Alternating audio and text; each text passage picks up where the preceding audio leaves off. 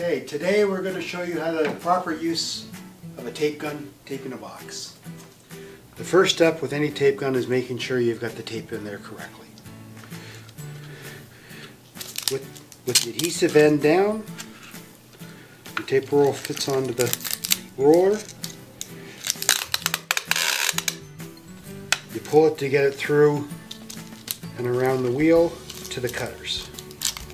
Tension on how quickly it feeds or if you want it to feed a little bit harder.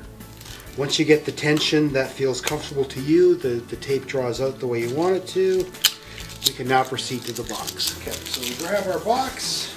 I want to do the bottom first. This is a box with four flaps.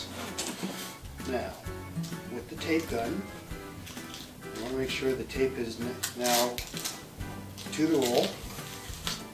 Okay. You're gonna put the roll on the gun on the box. You're just gonna roll up.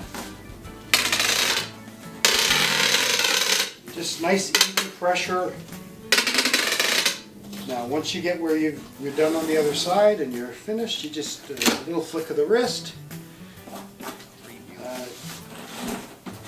you can give it a nice little rub. We're good.